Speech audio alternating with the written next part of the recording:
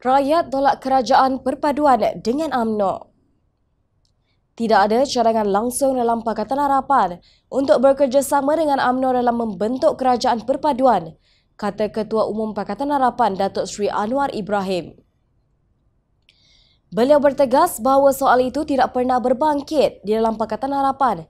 Justru pada pendapatnya ia tidak relevan untuk dibincangkan. Sebagai pendirian, kita komited kepada Pakatan Harapan. Terdapat kesepakatan bahawa tidak perlu untuk membincangkannya. Itulah saranan sekarang ini. Kita telah bincangkan dalam kalangan pemimpin dan itulah kesepakatan umum. Katanya seperti di petik bernama.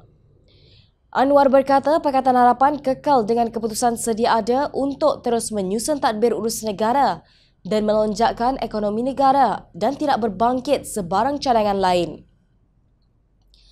Terdahulu, Presiden AMNO Datuk Seri Dr. Ahmad Zahid Hamidi dalam temu bual khas bersama NSTP membayangkan bahawa AMNO berharap perubahan kerajaan perpaduan antara parti itu dengan mana-mana parti politik dalam kerajaan dapat direalisasikan segera.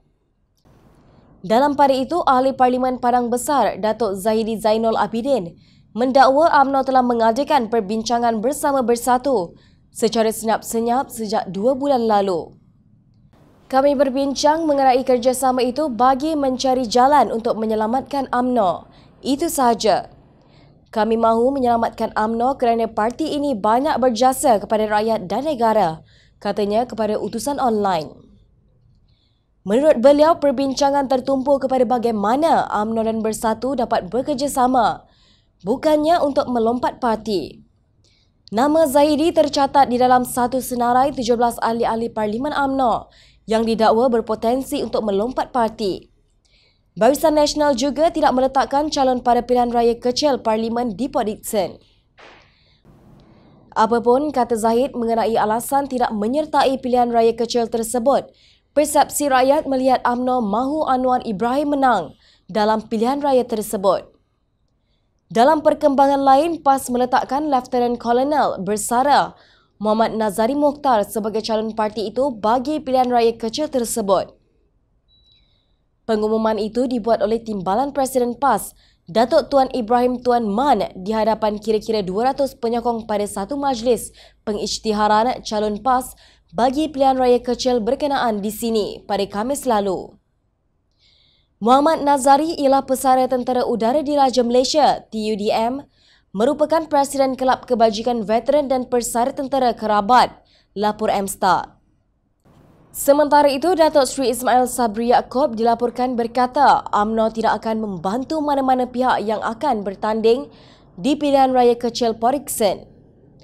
Maknanya bukan sahaja PAS kita tak akan bantu, termasuklah sesiapa sahaja calon bebas di kalangan ahli AMNO yang tidak puas hati dan mahu bertanding, kita tak akan sokong, kata Nat Presiden AMNO itu di petik Free Malaysia Today. Sebelum ini, AMNO membantu PAS dalam pilihan raya kecil seri setia manakala PAS memberi laluan kepada parti itu bertanding di Sungai Kandis. Tindakan pucuk pimpinan AMNO yang enggan membantu PAS ini, selain pengakuan Zahidi, menguatkan spekulasi bahawa mereka benar-benar berminat untuk membentuk kerajaan perpaduan dengan Pakatan Harapan.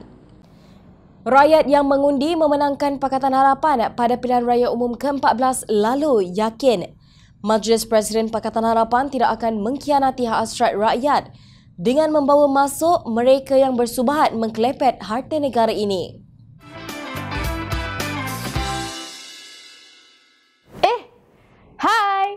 Jangan lupa klik kanan untuk rentasan berita, klik kiri untuk keratan berita dan jangan lupa untuk subscribe kami tahu.